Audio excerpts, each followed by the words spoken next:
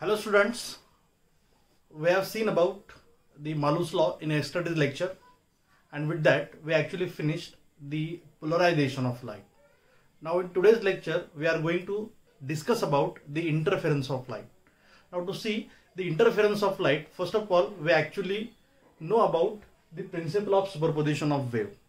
Okay, as we all know that when a wave transmitted through a medium it actually produces vibrations आपल्याला माहीत आहे जर एखाद्या मीडियममधून wave constantly propagate होत असेल तर अशा वेव्हच्या प्रोपॅगेशनमुळे मीडियममध्ये असणारा प्रत्येक पार्टिकल काय होत असतो? व्हायब्रेट होत असतो.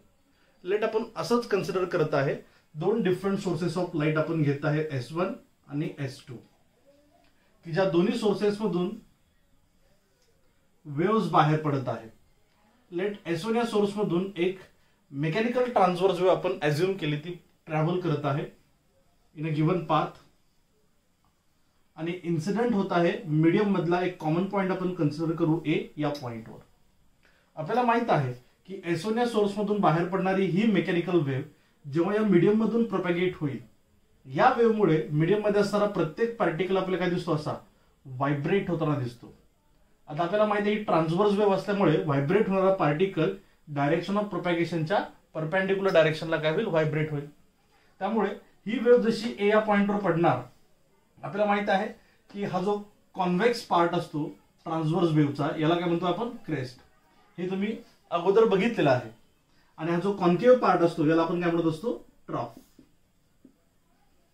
नाव इथे आपल्याला बघता येणार की जेव्हा एस वन हा सोर्स आपल्यामधून अशा प्रकारची ट्रान्सवर्स वेव्ह अमिट करत आहे तर एस वन या सोर्स मधून आपल्याला माहीत आहे ऑल्टरनेटली काय मिट होत आहेत क्रेस्ट आणि ट्रफ क्रेस्ट आणि ट्रफ मग आपल्याला माहिती आहे एस या सोर्स मधून बाहेर पडणाऱ्या वेव्हचा जर क्रेस्ट ए या पॉइंटवर पडत असेल तर इथे आपल्याला माहिती आहे direction of vibration of particle upward आहे at the place of crest therefore crest जेव्हा ए या पॉइंटवर पडेल तेव्हा ए पॉइंट आपल्याला माहिती आहे अपवर्ड डायरेक्शनला असा मूव्ह होईल. पुन्हा खाली येणार. ओके नाव आता याच्यावर काय इन्सिडेंट होणार हा ट्रफ त्यामुळे तो पुन्हा इथून कुठे येणार? खाली. पुन्हा काय जाणार? वर. पुन्हा क्रेस्ट पडल्यानंतर वर. पुन्हा खाली येणार. अजून ट्रफ पडल्यानंतर डाऊनवर्ड डायरेक्शनला डिस्प्लेस होणार असा. त्यामुळे आपल्याला माहीत आहे ही या वेव्ह मधून बाहेर पडणारी ट्रान्सवर्स वेव्ह जशी ए या पॉईंटवर पडणार alternate crest of crest of पडणार हा पार्टिकल आपल्याला काय दिसतो असा? व्हायब्रेट होताना दिसत आहे.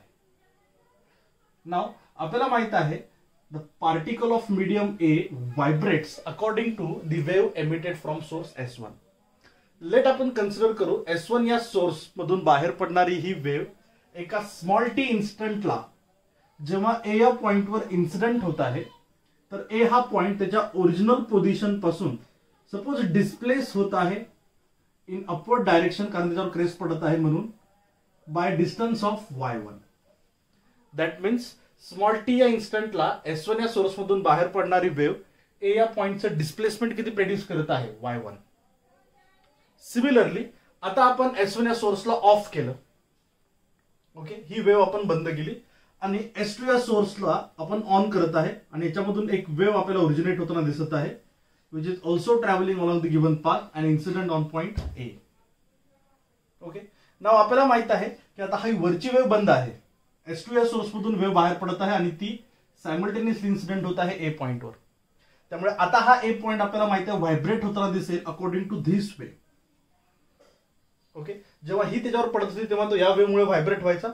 आता हिला बंद केला आपण आणि एस टू ला आपण याच्यावर इन्सिडेंट करत आहे. त्यामुळे तो आता एस टू या सोर्समुळे काय होणार? व्हायब्रेट होणार. जसं इथे ट्रफ पडत आहे त्यामुळे तो खाली जाणार. पुन्हा वर येणार त्याच्या ओरिजिनल पोझिशनवर क्रेस्ट झाल्यानंतर पुढे जाणार वर येणार. पुन्हा खाली येणार. असं ऑल्टरनेट क्रेस्ट स्ट्रक्चर पडणार त्यामुळे हा पार्टिकल असा आपल्याला कॉन्स्टंटली काय दिसतो? व्हायब्रेट होताना दिसतो. आता हा ए पॉईंट व्हायब्रेट होतो according to source S two okay now suppose S two या सोर्स मधून बाहेर पडणारी ही वेव्ह सेम स्मॉल टी या इन्स्टंटला जेव्हा ए पॉइंटवर इन्सिडेंट होत आहे तेव्हा हा सोर्स किंवा ही वेव्ह ए या पॉइंटला त्याच्या ओरिजिनल पोझिशनपासून आपल्याला डिस्प्लेस करताना दिसत आहे at a distance of y two याचा अर्थ काय? स्मॉल टी या इन्स्टंटला एस टू या सोर्स मधून बाहेर पडणारी वेव्ह ए या पॉइंटला त्याच्या ओरिजिनल पोझिशनपासून डिस्प्लेस करत आहे कितीच्या डिस्टन्सनी वाय टूच्या आता याच्यावर ट्रफ इन्सिडेंट होत आहे ट्रफ. कॉन्केव्ह पार्ट आहे. त्यामुळे ए पार्टिकलचं डिस्प्लेसमेंट वाय टू होणार. पण कोणत्या डायरेक्शनला डाऊनवर्ड डायरेक्शनला या एस वन या सोर्स मधून बाहेर पडणाऱ्या वेव्हचा याच्यावर काय पडत होता? क्रेस्ट की ज्यामध्ये डायरेक्शन ऑफ पार्टिकल व्हेलॉसिटी किंवा व्हायब्रेशन कुठे राहते? अपवर्ड त्यामुळे ए पार्टिकल या वेव्हमुळे कुठे जात होता? वाय वन या डिस्टन्सनी वरती. याचा अर्थ आपल्याला काय सांगतात? वाय वन हे डिस्प्लेसमेंट ए या पॉईंटचं होत आहे. एस वन या सोर्सला जर चालू ठेवलं तर. आणि वाय टू ए या पॉईंटचं डिस्प्लेसमेंट होत आहे. जर आपण एस टू या सोर्सला चालू ठेवलं तर. इंडिपेंडेंटली नाव आता इमॅजिन करा दोन्ही सोर्स आपण एकाच वेळी ऑन केले. ही पण वेव त्याच्यावर पडत आहे ही पण वेव त्याच्यावर पडत आहे. मग हा ए पार्टिकल कोणत्या वेवमुळे व्हायब्रेट होईल? एकतर तो या वेवमुळे व्हायब्रेट होईल किंवा या वेवमुळे व्हायब्रेट होईल? ओके हा प्रॉब्लेम सॉल्व्ह केला. प्रिन्सिपल ऑफ सुपरपोजिशन ऑफ वेव्हमध्ये. प्रिन्सिपल ऑफ सुपरपोजिशन ऑफ वेव्हचं आपल्याला स्टेटमेंट काय सांगितलेलं आहे? When two or more than two wave arrive at a point of medium simultaneously then each wave produces its own displacement at that point independently of the others the result resultant displacement at that point is vector sum of displacement due to each wave याचा अर्थ जेव्हा दोन किंवा दोनपेक्षा जास्त wave medium मधल्या एखाद्या पॉइंटवर एकाच वेळी इन्सिडेंट होतात तेव्हा प्रत्येक वेव्ह त्या पॉइंटचं डिस्प्लेसमेंट इंडिपेंडेंटली प्रोड्यूस करते. पण त्या पॉइंटचं रिझल्टंट डिस्प्लेसमेंट काय असते? दोन्ही वेव्हच्या वेव्ह इंडिव्हिज्युअल डिस्प्लेसमेंटची काय राहते? Vector sum that means the resultant displacement of point A is actually vector y which is equal to vector y one plus vector y two याचा अर्थ ए या पार्टिकल त्याच्या ओरिजिनल पोझिशनपासून किती डिस्टन्सने डिस्प्लेस होईल हे कोण डिसाईड करते? त्याच्यावर पडणाऱ्या दोन्ही वेव्हचं इंडिव्हिज्युअल डिस्प्लेसमेंट आणि दुसरं त्या इंडिव्हिज्युअल डिस्प्लेसमेंटची डायरेक्शन पण कारण व्हेक्टर सम आहे. म्हणजे काय बघा जर एस वन या सोर्स मधून बाहेर पडणाऱ्या वेव्हचा क्रेस्ट ए पॉइंटवर पडला म्हणजे पार्टिकल वाय वन डिस्टन्स ती कुठे जाईल? वरती. आणि एस टू सोर्स मधून बाहेर पडणाऱ्या वेव्हचा ट्रफ याच्यावर पडला. तर ए हा पार्टिकल वाय टू या डिस्टन्सनी कुठे जाणार? खाली. That means direction of y one and y two इथे अपोजिट आहे. त्यामुळे त्याचे साईन पण काय राहील? Opposite in that case the displacement of point A will always be equal to y one minus y two if now तर imagine करा S one या सोर्स मधून बाहेर पडणाऱ्या वेव्हचा पण क्रेस्ट ह्याच्यावर पडत आहे. आणि एस टू या सोर्स मधून बाहेर पडणाऱ्या वेव्हचा पण क्रेस्ट ह्याच्यावर पडत आहे.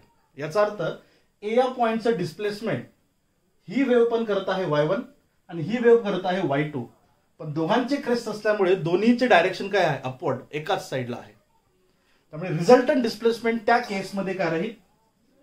Y which is equal to y one plus y two okay याचा अर्थ ए या पार्टिकलचं डिस्प्लेसमेंट काय असेल? दोन्ही वेव एकाच वेळी त्याच्यावर पडल्यामुळे हे डिसाईड केलं जाते कशावरून? इंडिव्हिज्युअल डिस्प्लेसमेंटच्या मॅग्निट्यूडवरून आणि दुसरं त्यांच्या डायरेक्शनवरून क्रेस क्रेस जर त्या पॉईंटवर एकत्र येत असतील तर रिझल्टंट डिस्प्लेसमेंट त्यांची सम राहते विच इज हायर आणि जर क्रेस्ट ट्रफ सोबत जर त्या पॉईंटवर मिळत असेल तर रिझल्ट रिझल्टंट डिस्प्लेसमेंट जे आहे लक्षात? हे इंडिव्हिज्युअल डिस्प्लेसमेंटचा काय राहतो? डिफरन्स राहतो. म्हणजे इथे रिझल्टंट डिस्प्लेसमेंट काय होत आहे कमी होत आहे. लक्षात? त्यामुळे आपल्याला इथे सांगता येणार the resultant displacement at point A is actually vector sum of displacement due to the two waves from S one S two आता हे सर्व आपण डिस्कस केलं अबाउट मेकॅनिकल वेव्स अँड हे हे इक्वली ऍप्लिकेबल आहे for electromagnetic wave or light wave का? कारण आपल्याला माहिती आहे इथे पार्टिकलचे व्हायब्रेशन आहे. लाइट किंवा इलेक्ट्रोमॅग्नेटिक वेव्हमध्ये व्हायब्रेशन कशाचे आहेत? इलेक्ट्रिक फील्डचे व्हायब्रेशन आहेत.